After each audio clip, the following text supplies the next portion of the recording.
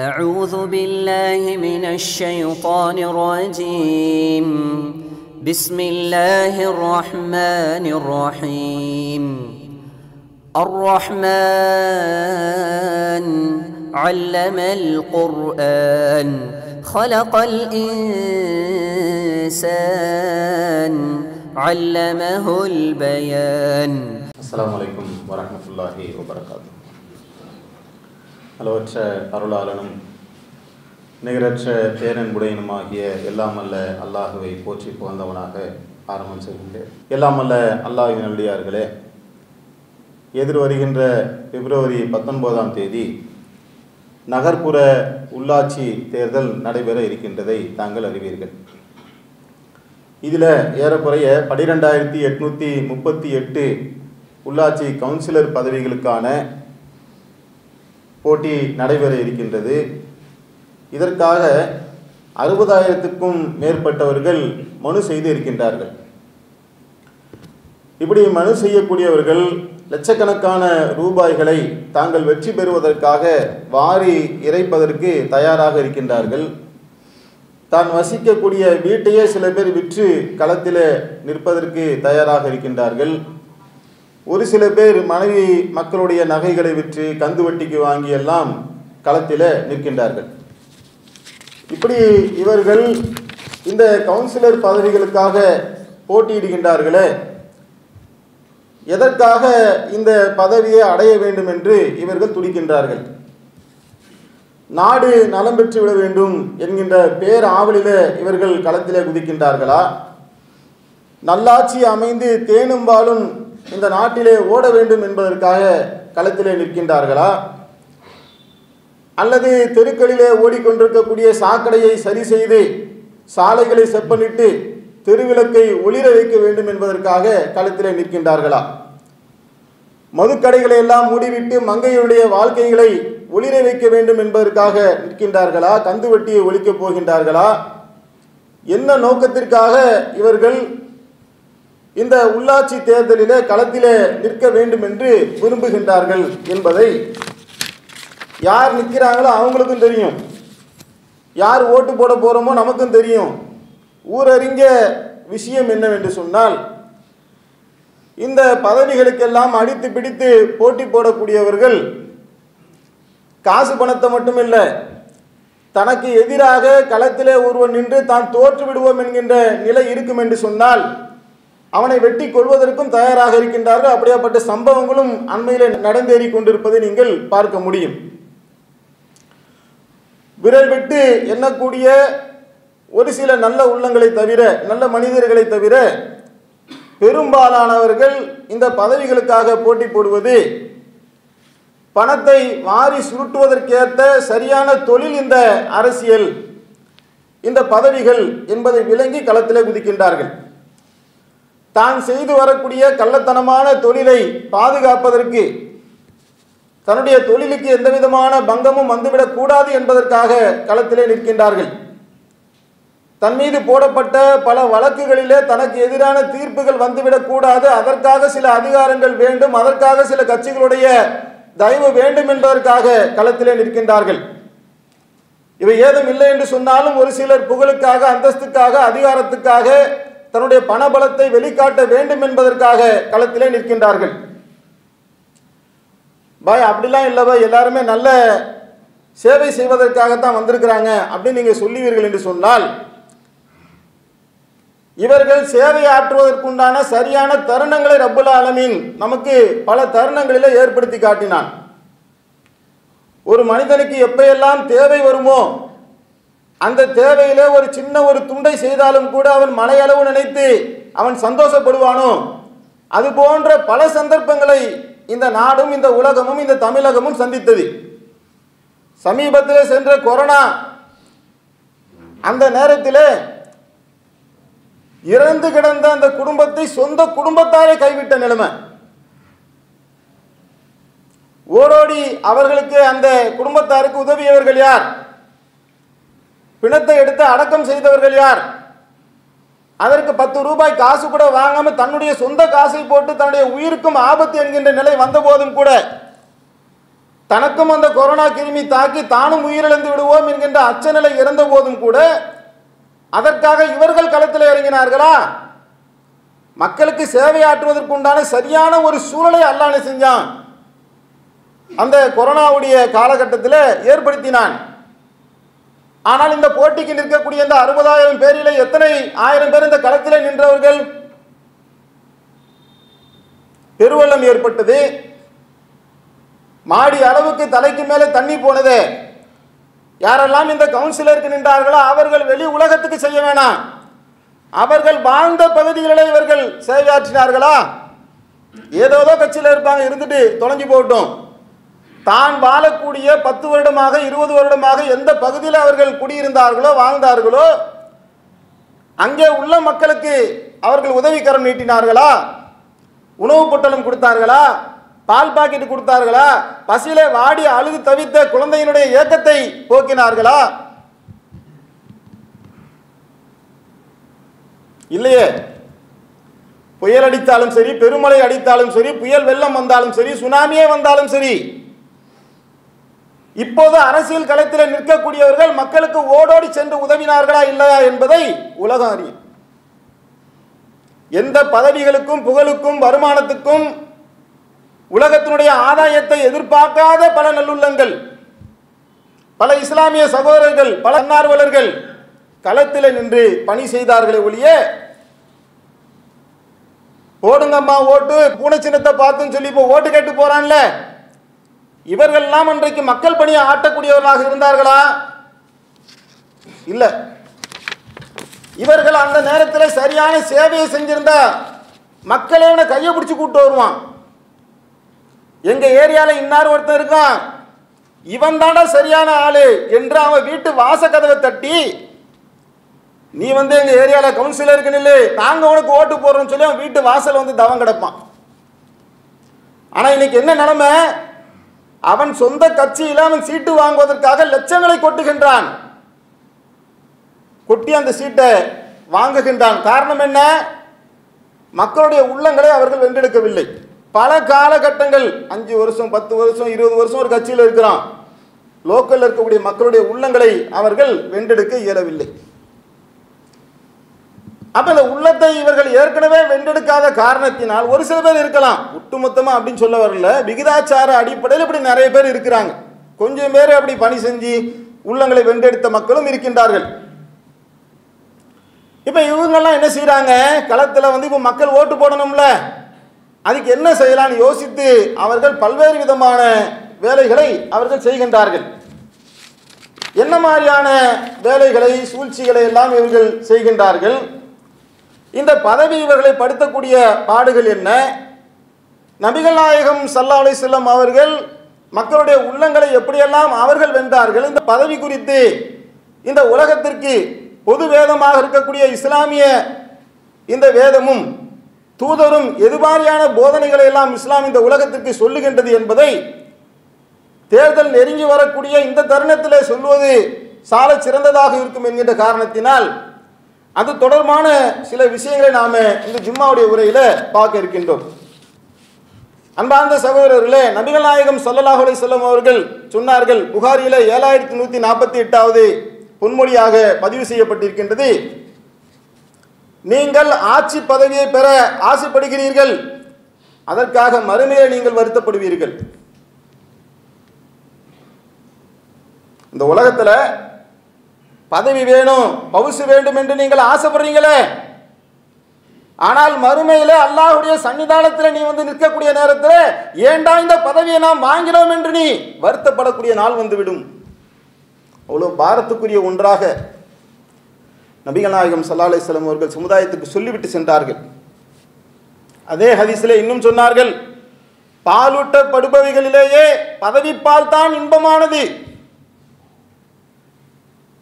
ஒரு குழந்தை ஒரு தாயிடத்தில் பால் குடிக்கும். அந்த குழந்தைக்கு அந்த உலகத்திலேயே ரொம்ப பிடித்தமான உணவு என்று சொன்னால் அந்த தாய்ப்பால் தான். அதையும் மிஞ்சியதாக நபிகள் நாயகம் சல்லா அலிஸ்லாம் அவர்கள் சொல்லுகின்றார்கள் பாலுட்ட படுபவைகளிலேயே பதவிப்பால் தான் இன்பமானது. பாலை மறக்க வைப்பதிலேயே பதவிப்பால் தான் நிறுத்துவதிலே மோசமானது என்று அல்லாஹுடைய தூதர் சொன்னார்கள். பால் குடிய மரக்கடிக்க செய்கிறது குழந்தைக்கு என்ன செய்வாங்க? வேப்பனை தடவி அதை இதை பண்ணி விளையாட்டு காட்டி கஷ்டப்பட்டு அந்த குழந்தைக்கு பால் குடிய மூன்று நாள் ஒரு வாரத்தில் நிப்பாட்டிடுவாங்க ஆனால் பதவி பாலை ஒருவன் குடித்து விட்டான்.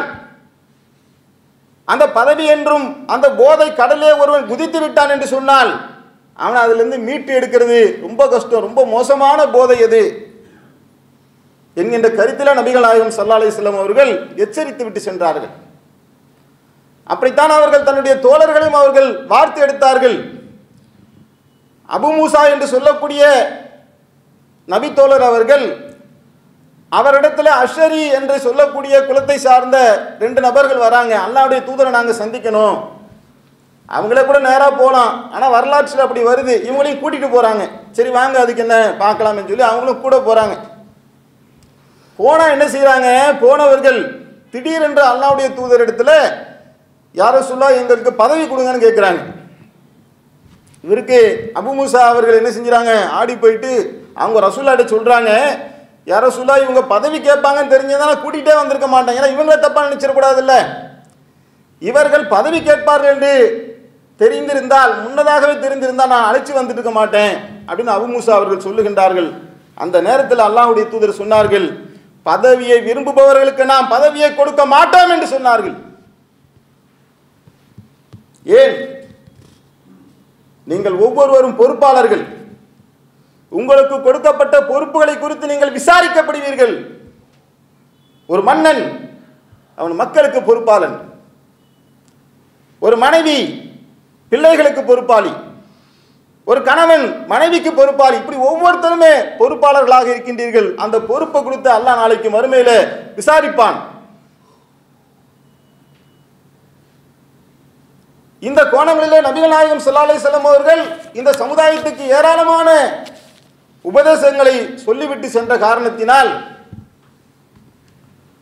அதை பின்பற்றி வாழக்கூடிய பல மக்கள் இந்த சாக்கடை நிறைந்த இந்த அரசியலிலே நாம் விழுந்துவிட வேண்டாம் என்று தன்னுடைய ஈமானை பாதுகாத்தவர்களாக அவர்கள் ஒரு வழியாக செல்லக்கூடியவர்களாகவும் சில பேர் இருக்கிறாங்க. இதுக்குள்ள குதிச்சு மூழ்கி முத்தெடுத்து விட வேண்டும் என்று குதித்து மார்க்கத்தை இழந்து அடையாளத்தை இழந்து செல்லக்கூடியவர்களும் பலர் இருக்கத்தான் செய்கின்றார்கள். இந்த பதவியை பெற்றுக்கொள்வதற்காக மக்களிடத்திலே தான் செய்த நல்ல காரியங்களை சொல்லி தான் செய்த சாதனைகளை சொல்லி ஓட்டு கேட்பதற்கு வக்கில்லாதவர்கள் பலவிதமான தந்திரங்களை பலவிதமான சூழ்ச்சிகளை அவர்கள் செய்து கொண்டே வருகின்றார்கள். அதில் அவர்கள் முதல்ல எடுக்கக்கூடிய ஆயுதம் என்ன தெரியுமா? பணத்தை அடிக்கிறது பசியோடு இருக்கிறான் ஒருத்தன். வறுமையில் வாடிக்கொண்டிருக்கான் ஒருத்தன். அன்றைக்கு அவனுக்கு ஒரு ஐநூறுரூவா ஆயிரம் ரூபா கொடுத்தோம் என்று சொன்னால் அவனால் கழித்து ஓட்டுக்கு போயிடுவான். ஓட்டை கொண்டு போய் குத்திடுவான் என்கின்ற நோக்கத்தில் பொருளாதாரத்தை இன்றைக்கு வாரி இறைக்கின்றார்கள். லட்சங்களில் கோடிகளில் வாரி இறைக்கக்கூடிய நிலைமை. சரி நம்ம கொடுக்குறோம் இப்போ எதிர்கட்சிக்காரன் கொடுக்குறான்ல. ஒரு ஆளுங்கட்சிக்காரன் கொடுக்குறான் எதிர்கட்சிக்காரன் கொடுக்குறான் மற்ற மற்ற கட்சிக்காரன் கொடுக்குறான் எல்லா கட்சிக்காரனும் கொடுக்கும்போது யாருக்கடா ஓட்டு போடுவான் அப்படிங்கிற குழப்ப நிலை வரும் பொழுதோ அல்லது காசு இல்லாத சூழல் ஏற்படக்கூடிய நேரத்திலோ மாற்று வழிகளே பணம் மட்டும் பத்தாது இன்னும் சில வழிகளை செய்ய வேண்டும் என்று என்ன செஞ்சா இவன் நமக்கு ஓட்டு போடுவான் என்று என்ன செய்கிறான் யோசிக்கிறான். யோசித்து ஜாதி அரசியலை நாம முன்னெடுப்போம். நீனு நானும் ஒரே ஜாதி. ஒரு ஏரியாவில் குறிப்பிட்ட ஜாதியினர் அதிகமாக இருக்கிறாங்கன்னு வைங்களேன். ஒரு செட்டியார் அதிகமாக இருக்கிறாரு முதலியார் அதிகமாக இருக்கிறாரு தேவர் அதிகமாக இருக்கிறாரு முஸ்லீம்கள் அதிகமாக இருக்கிறாங்கன்னு சொன்னால் அந்த ஜாதியை சேர்ந்தவர்களை அங்கே களத்தில் நிற்க வைப்பாங்க எல்லா கட்சிக்காரங்களும். என்ன சொல்ல வர நீ? செட்டியார் ஆகிய நான் நிற்கிறேன் முதலாளி முதலியார் ஆகிய நான் நிற்கின்றேன் தேவராகிய நான் நிற்கிறேன் அதனால நீ எனக்கு ஓட்டு போடுன்னு சொல்ல வரியா? நான் உன் ஜாதிக்காரன் அதனால எனக்கு ஓட்டு போடு. அதான் அவருக்காகத்தான் அந்த ஒரே இடத்துல அனைத்து கட்சிக்காரர்களும் அது சார்ந்த ஜாதி சார்ந்த ஆட்கள் நிற்க வைக்கிறீங்க. அதான காரணம்? இது நபிகள் நாயகம் சல்லா அலைஹி அவர்கள் வன்மையாக கண்டித்தார்கள். ஒரு முஹாஜிர் என்ன செய்கிறாங்கன்னா ஒரு அன்சாரியை வந்து அடிச்சிடறாரு ஒரு போர்க்களத்தில் முடிஞ்சிட்டு வரக்கூடிய நேரத்தில் நடக்கக்கூடிய சம்பவம். தோழர்கள் வந்து அவங்க மார்க்க ஞானம் பெற்றவர்களாக அவர்கள் அல்லாவுடைய தூதரத்தில் பாடம் படித்தவர்களாக இருந்தாலும் கூட ஒரு சில சம்பவங்கள் இந்த மாதிரி வரலாற்றில் நம்ம பார்க்க தான் முடியும். ஒரு முஹாஜிர் வந்து அன்சாரியை அடித்து விட்ட பின்னால் அந்த அன்சாரி என்ன செய்கிறாருன்னா அன்சாரிகளே உதவிக்கு வாங்க அப்படின்னு அழைக்கிறார். அவர் முஹாஜிர் பயந்துறார். அவர் என்ன செய்கிறாரு எல்லாம் வந்து நம்மளை அடித்து போட்டுருவாங்கட்டு அவர் என்ன செய்கிறாரு முஹாஜிர்களே உதவிக்கு வாங்க. அப்படின்னு அழைக்கிறாங்க. இந்த செய்தி நபிகள் நாயகம் சல்லா அலிஸ்லாம் அவர்களுக்கு எட்டிய பின்னால் இது என்ன அறியாமை காலத்து கூப்பாடாக இருக்குது என்று கடுமையாக கண்டித்து நாற்றம் பிடித்த வார்த்தைகளை நீங்கள் சொல்லுகின்றீர்கள் என்று எச்சரிக்கை செய்தார்கள். இவங்க ஒரு குலமாக அன்சாரிகள் ஒரு குலமாக முஹாஜிர்கள் ஒரு குலமாக பிரிந்து நின்று எனக்கு உதவிக்கு நீ வா எனக்கு நீ உதவிக்கு வா என்று பிரிந்து நின்று சொல்லக்கூடிய இந்த கோஷத்தை நபிகள் நாயகம் ஸல்லல்லாஹு அலைஹி அவர்கள் கண்டித்தார்கள்ல. இப்படித்தான் அவர் வளர்த்தெடுத்தார்கள். ஏன் ஜாதிக்காரனுக்கு ஓட்டு போடு ஏன் ஜாதி இப்படி என்ன இருக்கு? நீதியை சொல்லி நியாயத்தை சொல்லி நேர்மையை சொல்லி ஒரு அழைப்பு விடுக்க முடியலையே? நாற்றம் எடுத்த வார்த்தைகளாகத்தானே இது இருக்கு? இதைத்தான் அல்லாவுடைய தூதர் கண்டித்தார்கள்.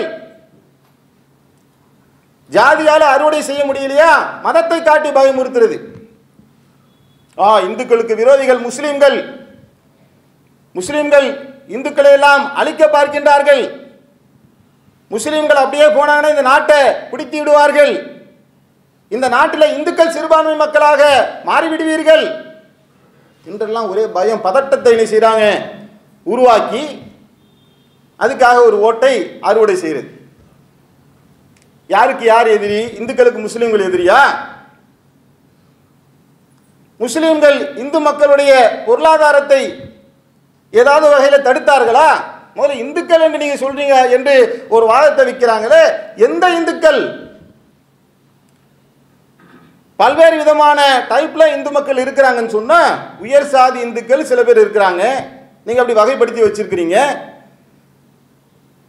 பட்டியல் எடுத்த மக்கள் என்று வகைப்படுத்தி வச்சிருக்கிறீங்க. பல கூறுகளாக பிரித்து வைத்திருக்கின்றீர்கள் என்று சொன்னால் இதுல முஸ்லீம்கள் யாருக்குப்பா எந்த இந்து மக்களுக்கு எதிராக இருந்தாங்க? எந்த இந்து மக்களுடைய சொத்துக்களை சூறையாடினார்கள்?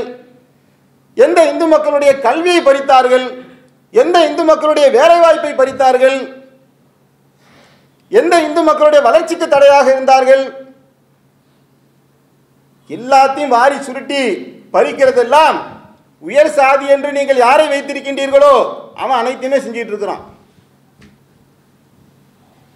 மூன்று சதவீதம் மட்டுமே இருந்துக்கிட்டு ஒட்டுமொத்த அதிகாரத்தையும் ஐஏஎஸ் ஐபிஎஸ் ஹைகோர்ட் நீதிபதி சுப்ரீம் கோர்ட் நீதிபதி என்ற அனைத்து துறைகளிலும் அவர்கள் என்ன செய்கிறாங்க கல்வியிலிருந்து அரசியலிருந்து அதிகாரத்திலிருந்து அனைத்தையுமே பறித்து வைத்துக்கொண்டு இந்து சமுதாய மக்களிலே பாதிக்கப்பட்ட அடித்தட்டு மக்கள் எல்லாம் கல்வியை பெற முடியாதவாறு தடுக்குகின்ற வேலையை யார் செஞ்சிட்டு இருக்கா? முஸ்லீம்கள் செஞ்சிட்டு இருக்கிறாங்களா? கல்வியை கற்பதை தூண்டக்கூடிய ஒரு மார்க்கம் இஸ்லாமிய மார்க்கம். கல்வி கற்பதை வரவேற்கக்கூடிய ஒரு மார்க்கமாக இஸ்லாமிய மார்க்கம் இருக்குது. ஆனால் உயர் சாதி வகுப்பிலே இருக்கக்கூடியவர்கள் தாழ்த்தப்பட்டவர்கள் என்று சொல்லக்கூடியவர்கள் கல்வி கற்க கூடாது என்று அவர்கள் தடை செய்கின்றார்கள். யார் எதிரி இப்ப? ஒரு கஷ்டம் சொன்னா துன்பம் சொன்னா துயரம் சொன்னா ஓடோடி வரக்கூடியவனாக இஸ்லாமிய சமுதாய மக்கள் இருக்கிறாங்க. சொல்லி தெரிய வேண்டியதில்லை. எல்லா மக்களுக்கும் தெரியும். ஒரே ஒரு ஜனாசாவை இறந்த பிரேத உடலை உயர் சாதி வகுப்பை சேர்ந்தவர்கள் இந்தியாவில் ஒட்டுமொத்த இந்தியாவில் கொரோனாவில் இறந்த ஒரு பிரேத உடலை அவர்கள் அடக்கம் செய்திருப்பார்களா? அவங்க அப்பன் செத்தா கூட அவங்க போக மாட்டாங்க. அந்த மாதிரியான எத்தனையோ பிரேத உடல்களை நாம் பார்க்க முடிஞ்சு அப்படியே ஹாஸ்பிட்டலில் ஒப்படைச்சிட்டு போயிடுவாங்க அனாதை பிணமாக அவர்கள் அடக்கம் செய்யப்பட்டார்கள். எத்தனை இஸ்லாமிய சமுதாய மக்கள் களத்தில் என்று உதவினார்கள்? யார் எதிரி இப்ப? யாரை எதிரியாக கட்டமைக்க அவர்கள் முயற்சி செய்கின்றார்கள்? மத ரீதியாக பிளவுபடுத்தி உணவு உண்பதிலே பிரச்சனை. மாட்டிறைச்சியை காரணம் காட்டி அடைத்து அடித்து அதை அரசியலாக்கி அதை ஓட்டாக்குறது. லவ் ஜிஹாத் என்று சொல்லி அதை ஊதி பெரிதாக்கி அதை ஓட்டாக்குவது. இப்ப சமீபத்தில் ஆடையில உள்ளக்க நுழைஞ்சு ஹிஜாபை பிரச்சனையாக்கி அதை அரசியலாக்கி அதை ஓட்டாக்குவதற்கு என்ன வழி? என்று மதத்தை வைத்தே கூறு போட்டு அதிலே அரசியல் செய்பவர்கள் யார்? இந்துக்களுக்கு உண்மையிலே இஸ்லாமியர்கள் விரோதிகளா? இந்த நாட்டிலே ஒரு ஐம்பது ஆண்டுகளுக்கு முன்னால் இருந்த நிலவரம் என்ன? தாழ்த்தப்பட்டவர்களாக அவர்கள் மனிதனாகவே மதிக்கப்படாத ஒரு நிலையில வெறுத்து ஒதுக்கப்பட்ட நிலையில பொது இடங்களில் அவர்கள் நடமாடக்கூடாது என்று தடுக்கப்பட்ட இடத்திலே அதிலிருந்து சுதந்திரம் பெறுவதற்காக இந்து மதத்தினுடைய ஒடுக்குமுறைகளால் அடக்குமுறைகளால் பாதிக்கப்பட்டு இஸ்லாமிய மார்க்கத்தை அவர்கள் விரும்பி தருவினார்கள் இந்த ஒடுக்குமுறைகளாக இருந்துச்சா இல்லையா? அப்போ இதெல்லாம் பல சூழ்ச்சிகளுக்கு மத்தியில் இந்த சதிவடைகள் எல்லாம் பின்னப்படுகின்றது என்பதை விளங்கி கொள்ளாதவாறு என்ன செய்கிறாங்க பல வேலைகளை இந்த பதவிகளை பெறுவதற்காக செய்து வரக்கூடிய நிலையை நாம் பார்க்குறோம். உணர்ச்சியை தூண்டி ஓட்டு வாங்குவதில் இந்த சங்கு பரிவார அமைப்புகளுக்கு நிகராக வேறு யாரையுமே பார்க்க முடியாது. அவ்வளோ வேலையை சிறப்பாக செய்கிறாங்க எப்படி? எல்லாரும் மறந்து பழசு நினச்சா மறந்துட்டு போயிடணும். நினைவுபடுத்த வேண்டிய கடமை நமக்கு இருக்குது ரெண்டாயிரத்தி எட்டில் தென்காசி ஆர்எஸ்எஸ் அலுவலகத்தில் ஒரு குண்டு வெடிக்குது. வெடித்த உடனே உடனடியாக நீ செய்கிறாங்கன்னா சங்கு பரிவாரத்தை சேர்ந்த அனைத்து மட்டங்களிலும் கண்டித்து என்ன செய்கிறாங்கன்னா அறிக்கைகளை விடுறாங்க. இஸ்லாமிய தீவிரவாதம் தலை தூக்கி விட்டது. முஸ்லீம்களை உடனடியாக கைது செய்ய வேண்டும். இதுக்கு முஸ்லீம் தான் காரணம் என்று மீடியாக்களில் பேப்பர்களில் பல விதங்களில் பேசப்படுகின்றது. அதற்கு நான் ஆட்கள் என்ன செஞ்சிருவாங்க மீடியா பர்சன் என்று வச்சு அவர்கள் மூலமாக அதை ஊதுகின்ற வேலையை செய்து கொண்டே இருப்பார்கள். கடைசியில் யார் இதில் கைது செய்யப்படுகின்றார்கள்? ரவி பாண்டியன் என்று சொல்லக்கூடிய ஒருவர் நாராயண சர்மா வேல்முருகன் குமார் பாலமுருகன் இன்னொரு முருகன். இந்த ஆறு பேர் என்ன செய்கிறாங்க இந்து முன்னணியை சேர்ந்த ஆறு பேர் கைது செய்யப்படுகின்றார்கள். எதுக்காக வைக்கிறாங்க முதல்ல? இந்த வைக்கப்பட்டவருடைய நோக்கம் என்ன? ஏன் அவர்கள் கட்சியினுடைய அலுவலகத்திலே அவங்களே போய் ஏன் குண்டு வச்சுக்கிறாங்க? அவங்க வீட்டிலே அவங்க போய் ஏன் பாம்பு போட்டுக்கிறாங்க? அவங்க அனுமார் கோயிலையும் அவங்க போய் மாட்டு இறைச்சியும் போடுறாங்க? என்று சொன்னால் கலவரத்தை உண்டாக்க வேண்டும். அதை முஸ்லீம்களுடைய தலையில போட வேண்டும். இந்துக்களுடைய ஓட்டை பெற வேண்டும். என்பதற்காக எந்த எல்லைக்கு வேணாலும் செல்லுவார்கள் என்பதற்கு இதெல்லாம் ஆதாரம். இப்படிலாம் போட்டாங்க ஆரம்பத்தில் பேசினாங்கல்ல கண்டுபிடிச்சாச்சுல. கண்டுபிடித்து இவர்கள் தான் குற்றவாளிகள் என்று தெளிவாக தெரிந்த பின்னால் அவர்கள் திராணியோட வெளி உலகத்தில் சொன்னார்களா? நாங்கள் முதல்ல ஆரம்பத்தில் முஸ்லீம்கள் மீது பழிய போட்டோம். ஆனால் உண்மை நிலவரம் அது இல்லை. இந்து முன்னணியை சேர்ந்த இந்த ஆறு பேர் தான் இதை செய்தார்கள் என்று வெளி உலகத்துக்கு சொன்னார்களா? இல்லை நோக்கமே அதுதானே. இது மாதிரி நூற்றுக்கணக்கான சம்பவங்கள் ஆயிரக்கணக்கான சம்பவங்கள் இந்தியாவில் பார்க்கலாம்.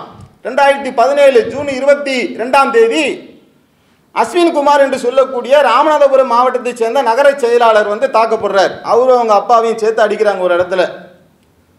ஒரு சம்பவம் நடக்குது. அடைந்த உடனே உமிழ்நீரை தன்னுடைய இன்சியலாக வைத்துக் கொண்டிருக்கக்கூடிய ஒருவர் என்ன செய்கிறாரு அவர் உடனே பேட்டி கொடுக்குறாரு. சம்பவத்தை வர்ணித்து கைலி கட்டிக்கொண்டு அறிவாளை எடுத்துக்கொண்டு அவங்க அஸ்வினி குமாரை வெட்டினார்கள். ரத்தம் சொட்ட சொட்ட அருகிலே இருந்த மசூதிக்குள் நுழைந்து கழுவி விட்டு ஆயுதங்களை கழுவி விட்டு சென்றார்கள். எப்படி இருக்கு திரைக்கதை? நல்லா இருக்கா கேட்க இப்படித்தையும் சொல்கிறாங்க சொல்லிட்டு சொல்கிறான் முஸ்லீம் பயங்கரவாதிகளின் கூடாரமாக ராமநாதபுரம் மாறிவிட்டது. இந்த பேசுகிறான் அடுத்து இவன் அடிப்படிகள்லாம் அங்கே இருக்கானுங்களா? ஒருத்தனா சொல்கிறான் என்ன சொல்கிறான்னா ராமநாதபுரம் மாவட்டம் தாலிபான்களுடைய கட்டுப்பாட்டில் இருக்குது தாலிபான்களுடைய கட்டுப்பாட்டில் இருந்து ராமநாதபுரத்தை மீட்க வேண்டும் என்று சொன்னால் மத்திய அரசிடம் ராமநாதபுரத்தை ஒப்படைத்தால் நாங்கள் தாலிபான்கள்ட்ட நாங்கள் மீட்டு காட்டுவோம். இதை ஒருத்தன் பேசுகிறான் சமீபத்தில் ஒரு சிக்கலில் மாட்டின ஒருத்தன் பேரை சொல்ல விரும்பலை. அந்த என்ன சொல்கிறானாக்கா ராமநாதபுரம் மாவட்டம் இஸ்லாமிய அடிப்படைவாதிகளுடைய கூடாரமாக மாறிவிட்டது. இதெல்லாம் என்ன செய்யணும்? இப்படி செய்திகளில் அப்படியே ஃப்ளாஷாக வந்து ஓடும். பார்க்கின்ற சாமானிய ஒரு இந்து மக்களுடைய உள்ளத்தில் என்ன தோறும்? குறைஞ்சபட்சம் அந்த ராமநாதபுரம் மாவட்டத்தில் இருப்பாங்கல்ல அந்த மக்களுடைய உள்ளங்களில் என்ன தோன்றும்? நேற்று வரைக்கும் நம்ம கூட நமக்குள்ள ஆயிரம் பிரச்சனை இருக்கலாம். வெட்டலாமா ஒருத்தனை? அது வெட்டிட்டு பள்ளிவாசலுக்கு போயிருக்கானே. பள்ளிவாசலில் போய் ரத்தம் சொட்ட சொட்ட கழுவி இருக்கிறானே அந்த ஆயுதத்தை. என்று வெறுப்பு மனசில் அப்படியே என்ன செய்யும்? கொப்பளிச்சு வரும். இதை அப்படியே என்ன செய்கிறாங்க தத்ரூபமாக செய்து முடிக்கின்றார்கள். கடைசியில் யார் அரெஸ்ட் பண்ணுறது அரெஸ்ட் பண்ணப்பட்டவர்கள் யார்? மணிகண்டன் ரவி முத்துராமலிங்கம் தவசிநாதன் சதீஷ். இப்ப தாலிபான்கள் யாருப்பா இப்ப? இப்போ தீவிரவாதிகளுடைய கூடாரமாக மாறிச்சுன்னு சொல்லி அது என்ன ஆச்சு? சரி இப்படிலாம் அரெஸ்ட் பண்ணப்பட்டார்கள் ஒரு கட்சியில் ஒரு முக்கிய பொறுப்பில் இருக்கிறியே வந்து வந்து நாங்கள் தவறாக சொல்லிட்டோம். இப்போ பண்ணது வந்து இவர்கள் தான் என்ற அடையாளத்தை காட்டினீர்களா? இன்னுமே இல்லை. அப்போ என்ன இதே மாதிரியான விஷ விதை இது சொல்லிட்டு இருந்தால் மணிக்கணக்கில் பேசலாம். விஷ விதைகள் என்ன செய்கிறாங்க தூவி விட்டு உணர்ச்சியை தூண்டிவிட்டு அதன் மூலமாக ஒரு கூட்டத்தை உருவாக்கி முஸ்லீம்களை அழிப்பது தான் வாழ்நாள் லட்சியம் என்கின்ற அளவுக்கு ஒரு கூட்டத்தை வந்து உருவாக்குகின்றார்கள். அதன் மூலியமா தேர்தல் ஆதாயத்தை அடைய பார்க்குறாங்க.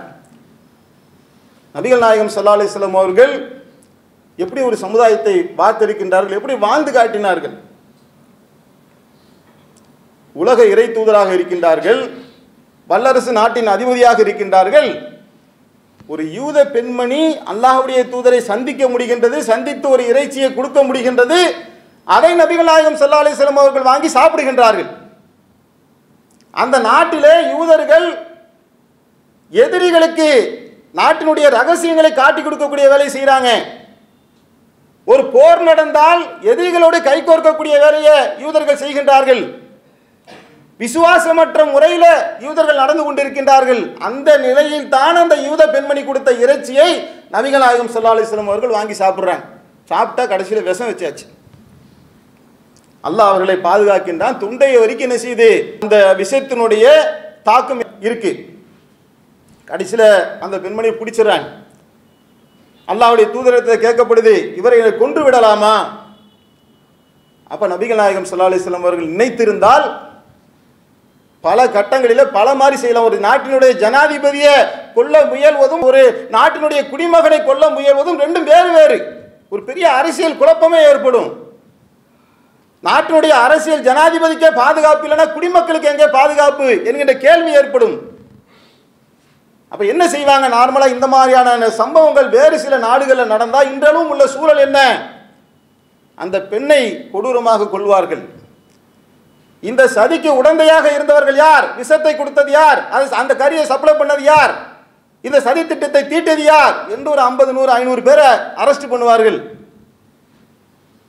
இப்ப இருக்கிற மாதிரி court case supreme court high court மனித உரிமை ஆணையம் ஒண்ணுமே கிடையாது. நினைச்சா என்ன வேணாலும் செய்யலாம். இன்னும் ஒரு மேலே போய் அந்த இனத்தையே அழிக்கின்ற வேலையை செய்வார்கள்.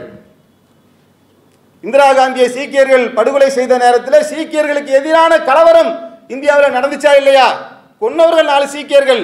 அது தவிர அது வேற விஷயம். ஆனால் ஒட்டுமொத்த சீக்கியர்கள் மீது கலவரம் கட்டவிழ்த்து விடப்பட்டுச்சா இல்லையா? இதான் உலக வரலாற்றிலே நடக்கும். அந்த யூதர்களை மீது அனைவரின் மீதும் தாக்குதல் நடத்தி இருந்தாலும் கூட அதை சரி காணக்கூடிய சூழல் இருந்துச்சு. ஆனால் நபிகள் நாயகம் சல்லாலை அலைஹி அவர்கள் மன்னித்து விட்டார்கள். இப்பேற்பட்ட ஒரு வழிகாட்டுதலை அல்லாஹுடைய தூதர் காட்டிட்டு போயிருக்காங்க. தனக்கு எதிராக நடத்தப்பட்ட ஒரு மிகப்பெரிய சதி ஊர்ஜிதமான பின்னாலும் கூட அதை ஊதி பெருசாக்காமல் அதை அரசியலாக்காமல் அதன் மூலம் அரசியல் ஆதாயத்தை அடையாமல் மன்னித்து அல்லாஹுடைய தூதர் என்ன செய்கிறாங்க அவர்கள் தன்னுடைய அரசியல் பாட்டையை வெளிப்படுத்தினார்கள். இவங்க என்ன அரசியல் பண்றாங்க? இல்லாத பழியை திட்டமிட்டு உருவாக்கி ஒரு காரியத்தை இவர்களாக நாடகமாக ரெடி பண்ணி அதில் முஸ்லீம்களுடைய தலையில் அதை போட்டு அதில் அவனை கொன்று குவிக்கின்ற வேலையை செய்வார்கள் என்று சொன்னால் நாம் அடையாளம் காணும். பொதுமக்களாகிய இந்து மக்களாக இருந்தாலும் கிறிஸ்துவ மக்களாக இருந்தாலும் நாட்டில் வாழக்கூடிய நல்லிணக்கத்தை விரும்பக்கூடிய மக்கள் அடையாளம் காண வேண்டும். ஒரு ஓட்டு போடுவதற்கு முன் தான் இதை நம்ம சொல்கிறோம் ஓட்டு போடுவதற்கு முன்னால் நம்முடைய ஏரியாவில் வசிக்கின்ற பலர் கவுன்சிலருக்கு நிற்பாங்க. இதிலே நாம் இதுக்கு மேற் சொன்ன இந்த விஷயங்களிலே மத கலவரத்தை தூண்டக்கூடியவர்கள் யார்? நாட்டினுடைய ஒற்றுமையை குலைக்கக்கூடியவர்கள் யார்? நாட்டிலே பல்வேறு விதமான தீவிரவாத செயல்களுக்கு ஆதரவு கொடுத்தவர்கள் யார்? இந்துக்களுக்கும் முஸ்லீம்களுக்கும் கிறிஸ்துவ மக்களுக்கும் மத்தியிலே வேற்றுமையை வளர்ப்பவர்கள் யார்? இதுதான் ரொம்ப டேஞ்சர் ஒரு நாட்டினுடைய வளர்ச்சிக்கு அமைதி ரொம்ப முக்கியம். ஒரு அமைதி ஒரு நாட்டில் நிலவலன்னு சொன்னால் அந்த நாட்டுடைய வளர்ச்சி மிகப்பெரிய அளவில் பாதிக்கப்படும்.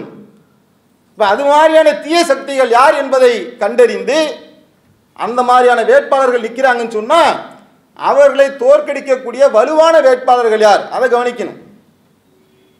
அந்த மாதிரியான ஒரு சங்கு பரிவார சிந்தனை உள்ள வேட்பாளர்கள் நிற்கிறார்கள் என்று சொன்னால் அவங்களுக்கு உதாரணத்துக்கு ஒரு ஏரியாக்குள்ள நூறு ஓட்டு இருக்குன்னு வைங்களேன். சங்கு பரிவார சிந்தனையால் ஈர்க்கப்பட்ட ஒரு இருபது பேர் அந்த ஏரியாவில் ஏதோ ஒரு காரண காரியங்களில் ஒரு கொங்கு மண்டலமாக இருக்குன்னு வைங்க. உதாரணத்துக்கு சொல்கிறேன் ஒரு இருபது பேர் இருக்கிறாங்கன்னு சொன்னால் நம்ம ஓட்டு என்ன ஆகிடக்கூடாது பத்து பதினஞ்சு பதினெட்டு பதினேழு இப்படி என்று பிரிந்தது என்று சொன்னால் கடைசியில் அவங்க அந்த இருபது ஓட்டை வச்சு ஜெயிச்சுட்டு போயிடுவாங்க. அப்போ அவர்களை எதிர்க்கக்கூடிய வலுவான வேட்பாளர் யார் என்பதை அடையாளம் கண்டு நாம் ஒரு சரியான ஒரு பார்வையாக இருந்தால் நியாயப்படி என்ன செய்யணும்னா நல்லது செய்யக்கூடியவர்கள் யாரும் தேடி பார்க்கும் இவங்க அதிகமாக நல்லது செஞ்சுருக்காங்களா? இவங்க அதிகமாக நல்லது செய்ய போகிறாங்களா என்று நல்லதை பார்த்து தான் ஓட்டு போடணும். அதான் சரியானது. ஆனால் அந்த நிலைமை இன்னைக்கு மாறிடுச்சு.